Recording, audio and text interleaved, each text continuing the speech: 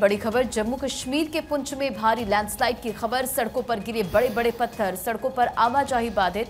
दरअसल जम्मू कश्मीर के पुंछ की यह तस्वीर देखिए, जहाँ मुगल रोड पीर की गली क्षेत्र में भूस्खलन के वजह से यातायात प्रभावित हुआ है। बचाव अभियान जारी है।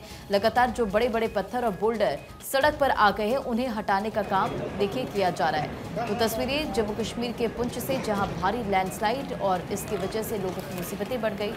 लोगों को वहाँ से गुजरने में परेशानियों का सामना करना पड़ रहा है। तस्वीरें देखिए किस तरह से सड़कों पर बड़े बड़े पत्थर और बोल्डर गिर गए हैं और सड़कों पर आवाजाही फ़िलहाल बाधित हो गई है। कोशिश यही कि मलबा जल्द से जल्द हटा दिया जाए ताकि लोगों को परेशानियाँ ना हो, क्योंकि आवाजाही बाधित है। सड़कों पर बड़े बड़े पत्थर और बोल्डर गिर गए हैं।